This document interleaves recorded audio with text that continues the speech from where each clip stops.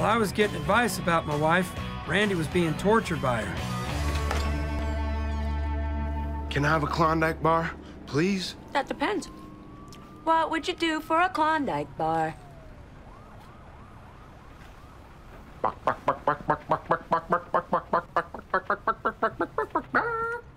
Nah, seen it. Unfortunately for Randy, the motel was next to a costume shop. Would you like to buy some delicious cookies? 喂，有冇人肚饿啊？喂，有冇要买嘢食啊？黐线嘅冇叉烧包啊！哇，三个啊！我得啦，啊有薄荷，一个啊，两个，三个。 Uh, two slim min and free peanut butter sandwich.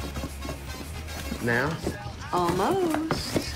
And unfortunately for Randy, the motel was also next to a street.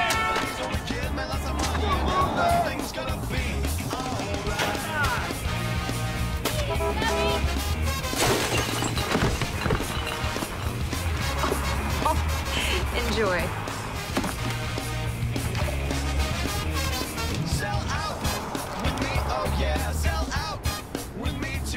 I rescued Randy and continued my quest for relationship advice by going to the happiest couple I knew.